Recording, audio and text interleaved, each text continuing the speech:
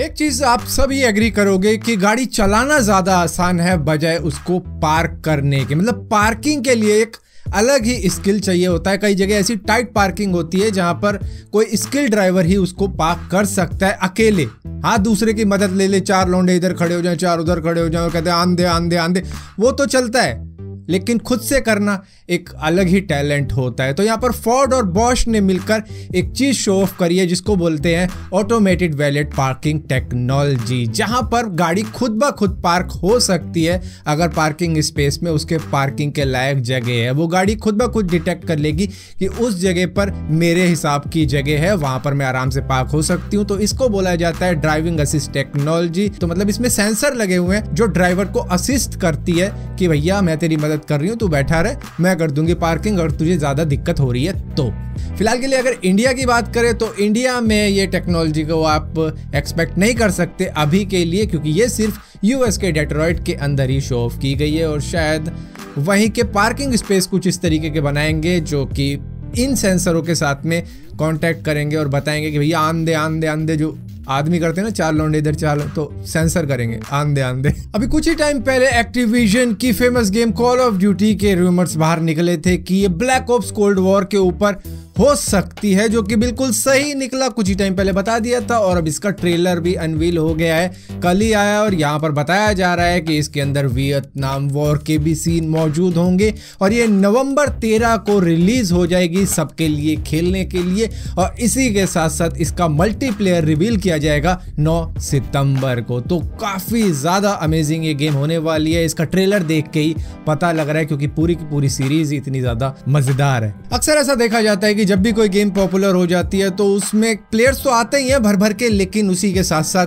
Cheater भी bonus के तौर पर उसमें आ जाते हैं और वो पूरी की पूरी गेम स्पॉइल कर देते हैं। तो इसी तरीके से फॉल गाइस के अंदर भी चीटरों का अटैक हो चुका है। मतलब स्पीड रन करते हैं, फटाक से फिनिशिंग लाइन पर पहुँच जाते हैं और किसी को भी जीतने का मौका वहाँ पर मिलता ही नहीं है, क्योंकि चीटर ही जीतेगा, उसके पास एडवांटेज है। तो इसको टैकल करने के लिए फॉल गाइस के डेवलपर्स ने कहा है कि हम बहुत जल्द ऐसा कोई पैच निकाल देंगे, जिससे कि ये चीटर साफ़ हो जाएँगे और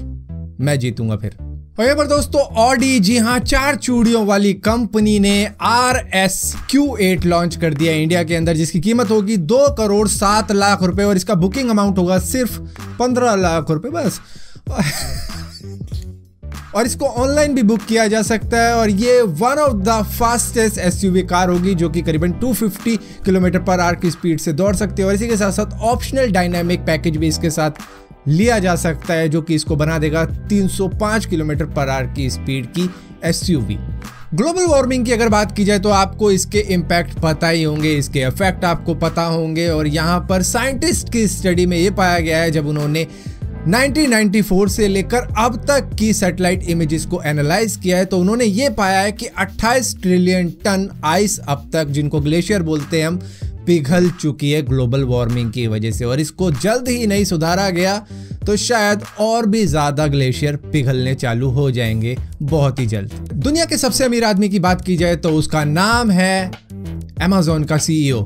जेफ बेजोस तो यहाँ पर उसकी वर्थ अब 200 बिलियन यूएस डॉलर से भी ज़्यादा हो चुकी है, करीबन 205 बिलियन यूएस डॉलर की वर्थ हो चुकी है, जिसकी वजह से ऑब्वियस सी बात है कि ये पहला इंसान है जिसने दोहरा शतक मार दिया है बिलियन यूएस डॉलर की बात की जाए तो। गाइस, यहाँ पर टिकटॉक की अगर बात की जाए तो आपको मालूम होगा, ये बिकने की कगार पे है या फिर बैन होने की कगार पे है। यूएस के अंदर जहाँ पर कहा जा रहा है कि यूएस की कई कंपनीज़ इसको खरीदना चाहती हैं, जिसमें माइक्रोसॉफ्ट सबसे आगे है ट्विटर भी है इसके अंदर, और यहाँ पर अगर इंडिया की बात की जाए तो कहा जा रहा है कि रिलायंस भी शायद इसके कुछ शेयर्स खरीद सकता है, ताकि वो इंडिया के अंदर इसको कंट्रोल कर पाए। लेकिन यहाँ पर गूगल ने कहा है कि यूएस कंपनियाँ अगर खरीदना चाहती हैं टिकटॉक को तो ठीक है, लेकिन अगर आप बात करोगे हमारी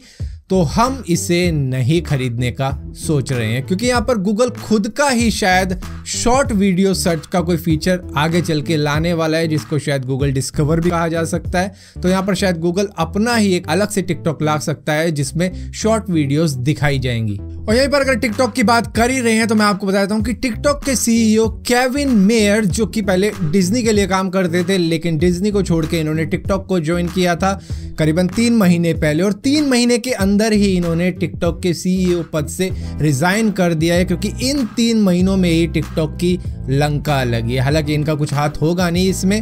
वो चाइनीज़ का ये हाथ था तो यहाँ पर चाइनीज़ ऐप है टिकटॉक तो उसी वजह से इनके साथ में ये हुआ कि टिकटॉक के डाउनफॉल शुरू हो गए। एक तो इंडिया जो कि बिगेस्ट मार्केट थी टिकटॉक की, वो चली गई उनके हाथ से, और इसके बाद में अब यूएस भी जाने वाला है तो जिसकी वजह से इन्होंने कहा मैं भी चलता हूँ। अच्छा चलता हूँ। ऐसे। जापान के अंदर कई नई नई चीज़ें बनाई जाती हैं, जो कि एक्सपेरिमेंटल तौर पे बनाई जाती है, जैसे कि इस छाते को ही देख लो। खैर, मैंने जापान के बारे में पहले ही एक वीडियो बना रखी है, जिसमें उनके अजीब गरीब गैजेट्स के बारे में बात की है। तो यहीं पर जापान ने एक मास्क बनाया, जो कि स्माइली मास्क है, जिसके ऊपर फेस है स्माइल करता हुआ लोगों का, जिसमें बताया जा रहा है कि भैया, ये फ्रेंडली मास्क होगा, इससे लगेगा कि जो मतलब एम्प्लॉयज़ को दिया जाएगा, जो भी शॉप वॉप में काम करते हैं। तो उन एम्प्लॉयज़ का लुक कुछ ऐसा लगेगा कि ये फ्रेंडली है, और ये वेलकमिंग दिख रहे हैं कि भैया आओ हमारे यहाँ से शॉपिंग वॉपिंग करो तो इस वजह से ये मास्क तैयार किया गया। लेकिन कुछ दिनों से मैं रेड डेड रिडम्शन खेल रहा हूँ, लूटपाट वहाँ पे चली रही है तो उसकी वजह से मेरे दिमाग में क्या ख्याल आ रहा है कि मान लो ये पहन के कोई बैंक रॉबरी करने जाए तो खुश हो रहे हैं बैंक रॉबरी करने जा रहे हैं मनी हाइस चल रही है। इंडिया के अंदर जियो काफ़ी ज़्यादा पॉपुलर है और उसकी खुद की एक वेबसाइट भी है जियो मार्ट करके, लेकिन यहाँ पर कई सारी फेक वेबसाइट भी मौजूद है। जियो मार्ट से ही रिलेटेड जहाँ पर रिलायंस ने साफ़ साफ़ कहा है कि भैया, हमने किसी को भी अपनी डीलरशिप नहीं दी है, किसी को भी अपनी फ्रेंचाइजी नहीं दी है तो आप किसी भी जियो मार्ट वेबसाइट पे घुस मत जाना शॉपिंग करने के लिए। देखभाल के मतलब शॉपिंग करना कि भैया,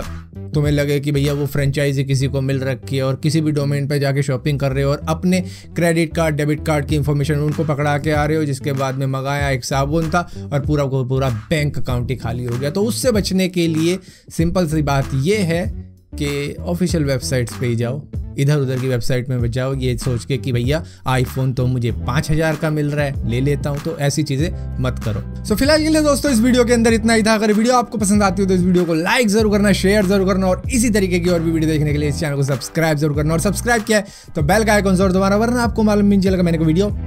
डाली भी है।